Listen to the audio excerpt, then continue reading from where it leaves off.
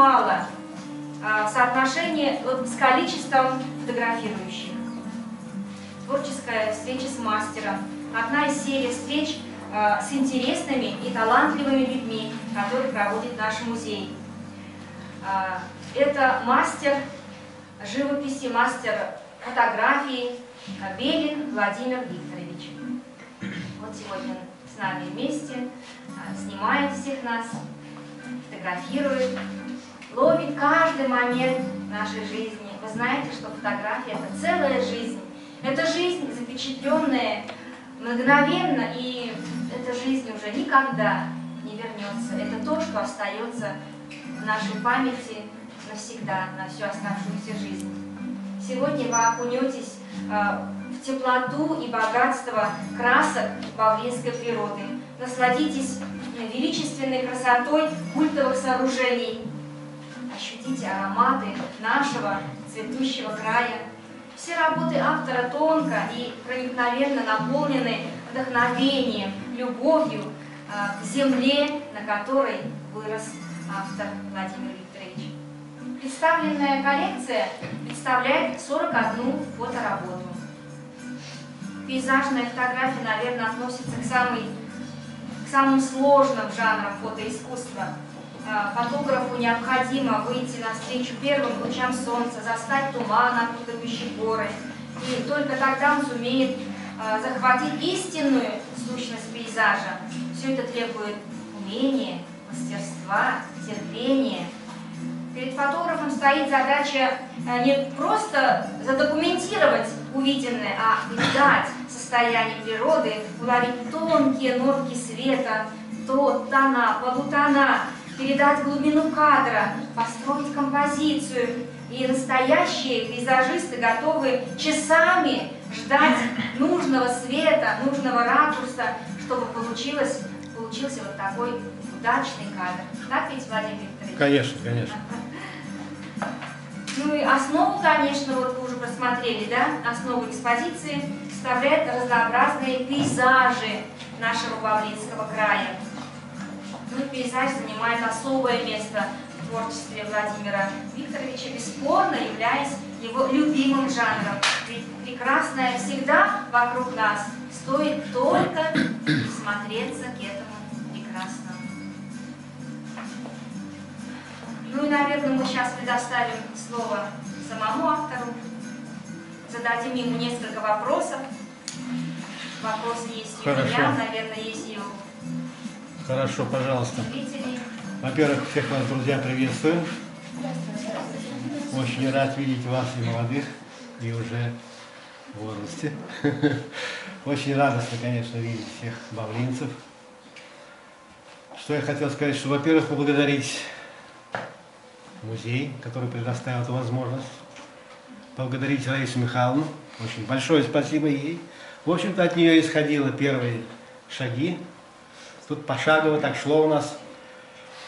Сначала была тема, я вам хочу сказать, что снять Бавлинский лес, Бавлинские а, окраины зимой, весной и летом один и тот же ракурс. Вот такая была тема у меня, когда я туда, сюда уже приехал. Вот так у меня загорелось. Но потом как-то вот все это наслаивалось, и захотелось и дома, оказывается, у нас очень красивые дома, и какие-то горы, э, и вот седьмая школа там, и, ну, в общем, все, что увидишь, и смотришь под каким-то ракурсом, это все было удивительно, здорово. Э, Есть эти фотографии с небольшой обработкой. Два фоторедактора, здесь фотошопа нет, нет ни ландрома, ни фотошопа, здесь э, два фоторедактора, которые дают, рекомендуют Windows 10 и фото Google с насыщенностью, он хорошо подрабатывает. Вот два, ну кто понимает, что это такое, тот знает, что такое редактор и что такое фотошоп. Ну, это вкратце. О себе родился я здесь, вот через дорогу, сосед мой с третьего этажа зад. Здесь мы росли, играли в футбол, очень здорово у нас была четверка такая. Атлас Зинуров, Рустам Мух- Мухиддинов, Раис Мухиддинов и я. Четверка непобедимых здесь была. Похвастаюсь, действительно так было. в этом квартале мы их держали. Подтверди, пожалуйста. Анна. Ну, это так. И потом учеба, кстати, в третьей школе. До сих пор теплота этой школы, этих учителей, которых я помню, которых очень люблю. И сердце до сих пор не все. Какие-то, конечно, моменты были, может быть, не совсем хорошие. Мы там начинали, ансамбль у нас был первый. Вот этот актовый зал в третьей школе, мы там вот первый ансамбль у нас звучала музыка оттуда. Потом армия, после армии три дня здесь и в Санкт-Петербург. И уже там начался такое новое формирование, семья, двое детей, двое внуков. Внучка родилась вот 11 октября. Все рядом. Потом работа, какая-то забота о семье. В общем-то, ничего общего с искусством не было, но черно-белый фото- фотоаппарат семейно присутствовал, ванна, кто помнит э, красные лучи и все дела, черно-белые фотографии, даже есть у меня и ВКонтакте они. Потом 90-е полностью почему-то вымерло все искусство. И вот однажды пригласили меня в кино сняться.